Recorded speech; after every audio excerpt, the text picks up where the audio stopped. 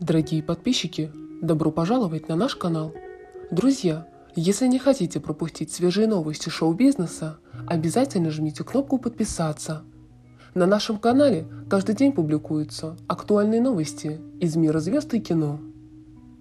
Буквально 10 минут назад к нам пришла до боли прискорбная весть. Трагическим образом завершилась история с пропажей петербургского актера марокканского происхождения Эль-Уалиди Жаваль известный эпизодическими ролями в сериалах «Бандитский Петербург», «Убойная сила», «Спецназ» и других, утонул в озере на одном из баз отдыха в Ленобласти.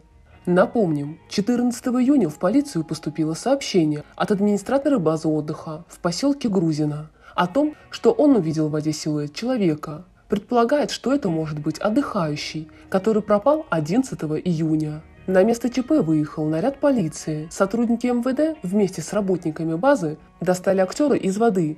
Им оказался погибший гражданин Марокко, который жил в Санкт-Петербурге. Он был без одежды, только на руке повязка и синие ткани, поверх которой надеты часы. Точная причина кончины пока неизвестна. Эль Уалиди Жамаль известен в культовых сериалах, снятых в Петербурге в 2000-х годах. Всего у марокканского актера было пять работ – Убойная сила 3, Черный ворон, спецназ, Агентство национальной безопасности 4 и бандитский Петербург 4. Выражаем глубочайшие соболезнования родным и близким.